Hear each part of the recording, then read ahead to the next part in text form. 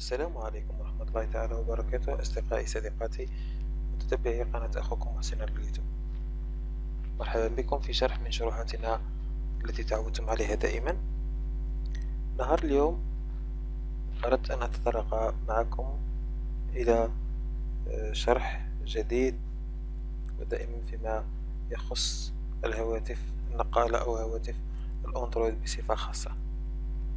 تابعتم في الشرح الماضي كيفية آه، تحديد مكان هاتفك المسروق أو الضائع آه، وكيفية حذف معلوماته وكذا غرقه عن بعد.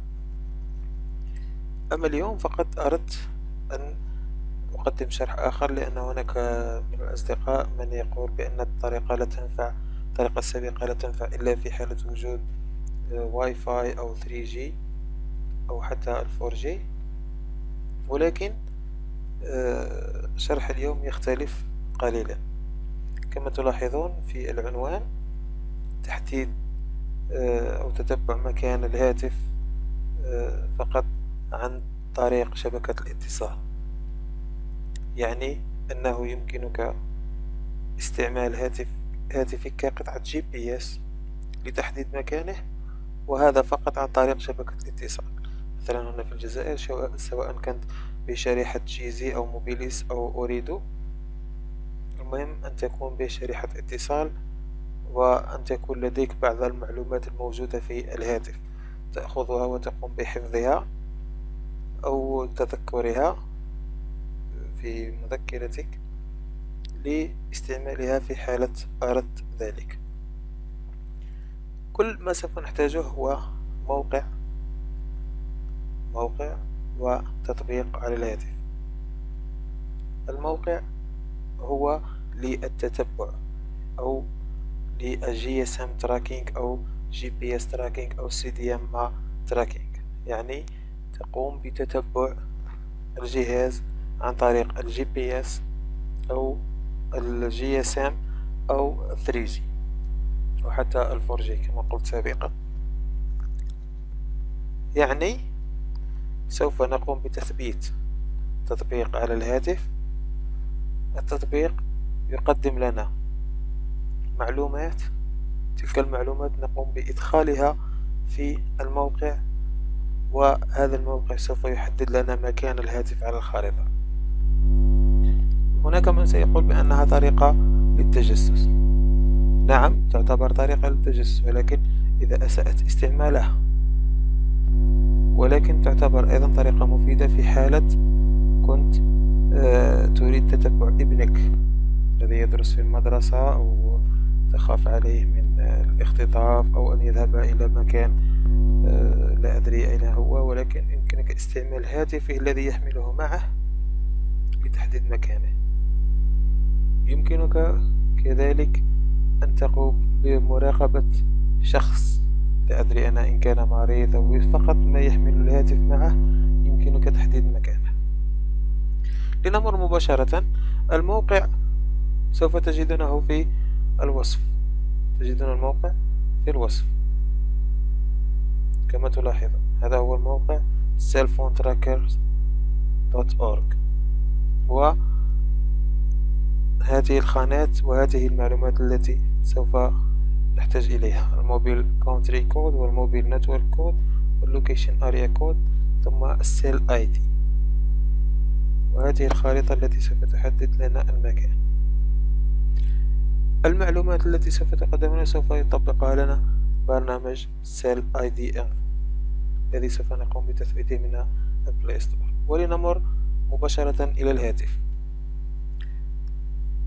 يمكنك الآن الدخول إلى Play Store وكتابة Cell ID تقوم بكتابها تضغط على الخيار الأول الذي يظهر تقوم بتثبيته أنا ثبته من قبل سوف أذهب مباشرة لفتحه أقوم بفتح التطبيق وسوف تظهر لي هذه المعلومات كما تلاحظونها قمت بإخفاء الأرقام فقط. سوف تقوم بنقل هذه القيم. هذه الأرقام تقوم بنقلها إلى الهاتف مباشرة. يعني آه، لما تقوم بنقل هذه الأرقام إلى الخريطة سوف يعطيك مكانك بالضبط أو مكان هاتف الشخص الذي تريد الوصول إليه. حسنا. نعود إلى الموقع. ونقوم بإدخال هذه المعلومات. بالنسبة لي أنا الموبيل country code. سوف أقوم بكتابته. ثم ال network code وهو في جزائر جيزي اثنان ثم ال location area code location area code ثم السيل اي دي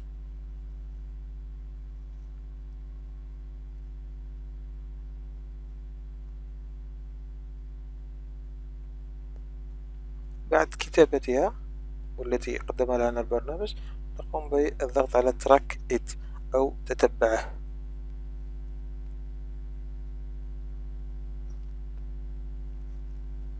حسنا كما تلاحظون هذا هو مكاني بالتحديد. يمكنني عمل زوم